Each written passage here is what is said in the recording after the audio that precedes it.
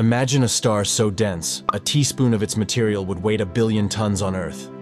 Now picture that star spinning hundreds of times every second, spewing out beams of radiation like a cosmic lighthouse. This phenomenon is known as a pulsar. Pulsars are the leftover scraps after massive stars, at least four times the sun's size, burn out and explode in supernova. This epic fireworks show blasts away the outer layers, leaving behind a super dense core called a neutron star. Imagine squeezing a sun-sized star into a city-sized ball. That's the mind-boggling density we're talking about. But here's where things get extra fascinating. Neutron stars pack incredibly strong magnetic fields that channel charged particles, whipping them up to near light speed.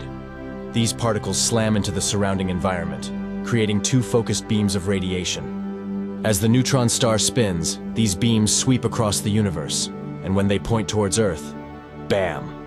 We see a pulse of radiation. The beauty of pulsars lies in their unwavering rhythm. Their spin periods, the time between pulses, are incredibly precise, often rivaling the best atomic clocks.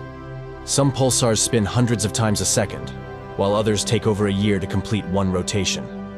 This clock-like accuracy makes them invaluable tools for astronomers, helping us study everything from gravitational waves to the structure of deep space.